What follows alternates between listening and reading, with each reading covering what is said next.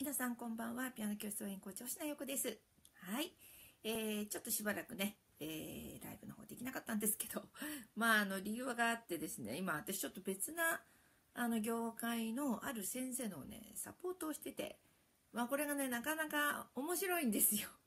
いやいやいや、面白いっつって、あの、浮気しちゃいかんと思ってですね、もうピアノの先生のことはずっとずっと頭の隅にあるんで、あのー、浮気はしませんが、まあでもやっぱりですね、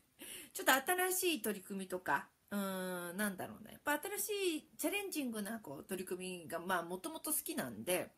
結構チャレンジャーなんですよね、私ね。で、でも自分の中ではいつもそういう新しいチャレンジをするんだけど、ちゃんとそれは自分で一つ結論付けて、できればピアノ業界にこう、りえー、なんかな、えっ、ー、と、活用するっていう一応流れがあるんで、まあ、言い訳かもしれないんですけどいつも新しいそういう、まあ、あのマーケマーケティング的な取り組みはねあの必ずピアノ業界にこう還元しようという思いでいるんですけどまあ割と新しいもん好きなんでなかなか面白いですね。あの今私がサポートしている先生はあの皆さんと共通するところもあるけれどまあ、あの、サロン業界の方とか、コーチ、コンサル、カウンセラー。まあでも教室ビジネスの方も、にもね、こう、応用できるので、まあ、あの、絶対、えー、絶対、ピアノ業界にも、あの、活かせるネタじゃないかなと思ってですね。まあ、まだ今すぐ何がっていうふうには言わないんで、まあ、これは私だ、私の問題なんですけど、今ちょっとですね、そんな感じでですね、えー、まあ、サポートしてるっていうのとね、あとは、まあ、お金のメンタルブレーキのも、あのー、登録が一応終わりました、昨日で。ん？昨日で？そうです、昨日で。ありがたいことにですね、250人以上の方が今登録してくれてて、もう今、その登録してる方だけに、あの動画をね、見ていただいてっていうところをやってますので、まあ、ちょっと報告だけなんですけど、びっくりしたのは、その、お金のメタルブレーキをね、あの、ピアノ先生の行動を妨げてる、まあ、その、一つであるお金のメタルブレーキのこの動画がですね、数が合わないんですよ。あれおかしいな、250人登録してるんだけど、なんか3 300プラス300再生回数が上がってるんですよ。あれ？ってことは、まあ、きっと何度も見てくださってる方がいるのかなと思ったらすごく嬉しくって、あの、うん。やっぱほら、引っかかるとこあるじゃない。ね。その時はですね、あ、あの動画の見方、もしこれ登録してる方がいたら、あの動画の見方はまず一回ザーッと聞く。で、まだ期間中、多分4月いっぱいはあの動画、あの、非公開にせずに回してるので、えー、ざーっと見る。それで、ああ中にはすごいね、メモと、もうメモ取りながらすごいこう、真剣に聞いてくださってる方もいて、それもいいです。一度しっかりメモ取って、あの、自分が一体どこにつまずいてるか、どこがすごく心に引っかかるのか、こう、もやもや感があるのか、そうならですね、内省するといいですね。もう、あの、あの動画は、あの、もう何度も何度も、あの、出してて、すごいそれで、これまでもたくさんの感想をいただいて、で、その感想もやっぱりみんな人それぞれ違うんですよね、響くところが。あの、もう本当になんか、ガーンときたっていう人も、なんか、うん、今までともう目目から鱗だって自分のこう価値観がちょっとこう崩壊まではしないけどあれ私の価値観これでよかったのかなって思うぐらい結構衝撃的な内容だとあの受け取る方もいればふむふむという方もやっぱそうだよねってこうふむふむというふむふむって方は私背中を押してると思うんであの動画はもうぜひどんどんあの前に進んでいいと思うんですよね。いろんなあのー、いろんな効果が、まあ、あるようで嬉しいなと。で、笑っちゃうのはピアノ継塾の人が 先生、私やばいです、みたいな。いやいやいや、大丈夫よ、大丈夫よ。まあ、ピアノ継塾はですね、まあ、もっとこう、包括的、なんていうかな、もっとね、全体的にフォローしてるので、あのピアノ系塾っていうのの方は私と授業で月に1回もうどっぷり8時間以上会うし8時間 ?11,12,1,2,3,4,5 そう8時間とか会うし。あと月に1回コンサルをしてるんですよね。あのどっちもそれなりの効果があって塾はあのやっぱりみんなでこう一緒にこうやることでかなりこうエネエネルギッシュにわーって進めるわけですよ。こうみんなで一緒にやる。みんなで一緒にやるこうなんていうかなあのみんなで一緒にやる効果っていうのがあるんですよね。だけどやっぱり内面特にお金のメンタルブレーキなんかみんなあのセルフメージとかあのメンタルのこととかやっぱり皆さん立ち位置が違うからそれで月に1回別にコンサルしてるんですよね。まあ、よく皆さん泣いてます。泣かせてないです私。星名よく怖くないです。いやあの泣かせてないんですけど。泣くんですよ皆さん。で泣いた方がいいんです。泣いた方が今までも泣いた人ほど次効果が出るんで泣いた方がいいんですよ別に 怒ってないんですけどあの話を聞いてると勝手に泣いちゃうんですよ。だもらい泣き昔はすごくもらい泣きしてたんですけど最近はだいぶ自分もあの何て言うかなセルフコントロールができてうんいいよ泣いてもっていう感じでですね丈夫もうここだけ誰も聞いてないから泣いてごらんなさいみたいな感じでですねあのお話を聞くんですけど泣いた方がいいんですよあの自分の感情をあんまりこうギュッと押し込めない方がいいんですね。泣いた方がいいんです。泣いた方が成果が出るんですよ。泣いた人ほど、先生成果、あの、問い合わせ来たとか言ってですね、ほらもう、あの、大体泣くと次なんか来るんですよ。なんか、もっと泣かした方がいいかな、私。だって成果来るから。別になんていうかな、なんかな、なんだろうな。うん。いや別に。あの、なんで泣くかというと、自分のこと受け止めるからですよねその人があ私ってこんな気持ちでいたんだって自分で自分を認めると自分まあか自分かわいそうだと思って泣く人もいれば私こんなこんな風に頑張ってたんだと思って泣く人も、まあ、いろんなことで意味で泣くんですけど泣いた方がいいんですよだから「よ星だよかっこよくないです」別にあの怒ってるわけじゃなくてあの泣いちゃうんですよみんながいやいいんですそれはいいんです。その方がいいんです。えっと、何の話だっけ？ああ、そうそう、お金のメンタルブレーキね。そうそう。だから、まあ、あの動画見て泣く人はいないと思うけど、あれでも誰かいたかな？なんか、あの動画を見て、自分の気持ちがいろいろこう湧き上がってきて、それを私に感想を書きながら泣いちゃったって人は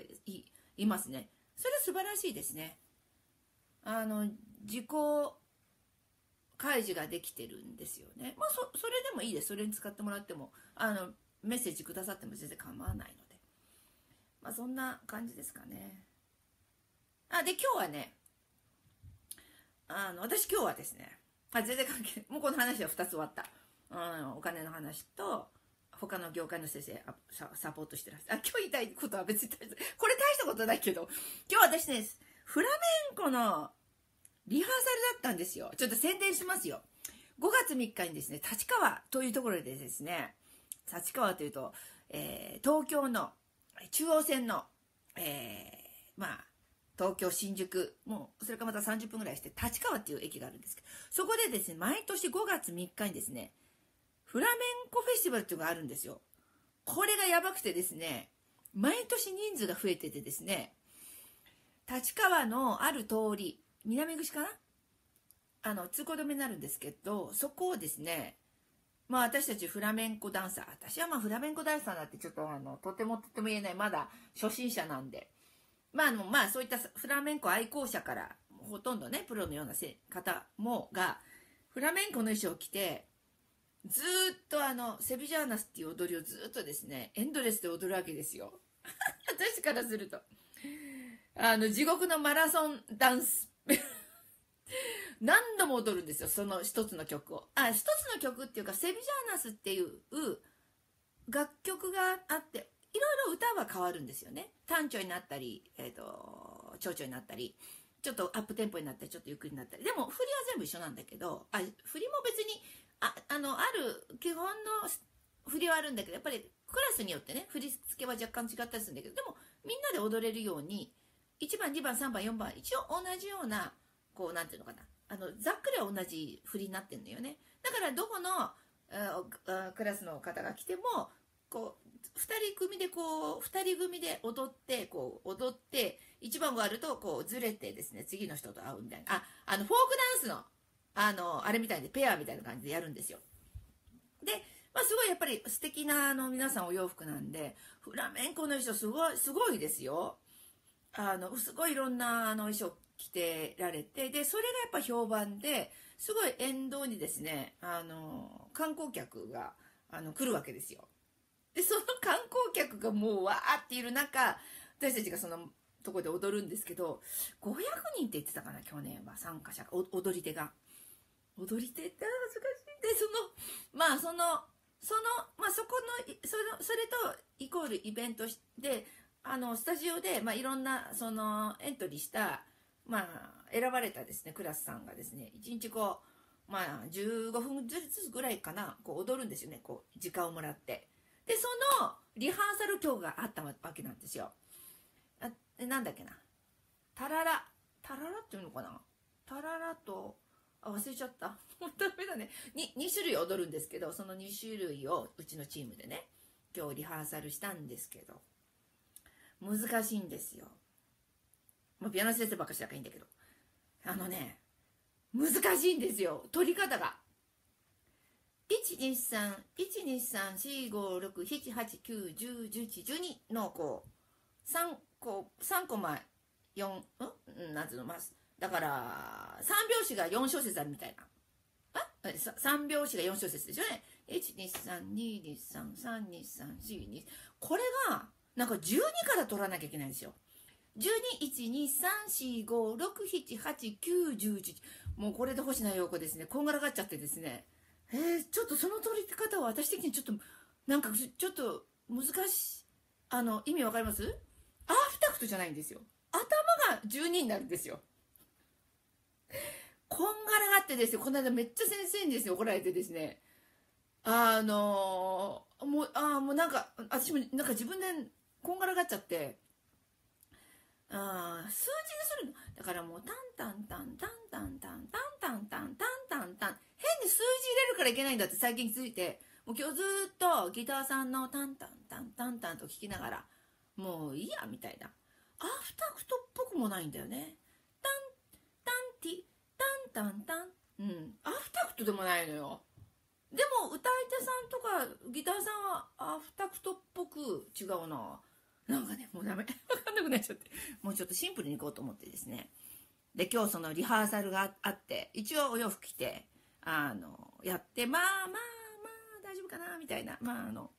まああのっていう感じでですねこの忙しい振りです。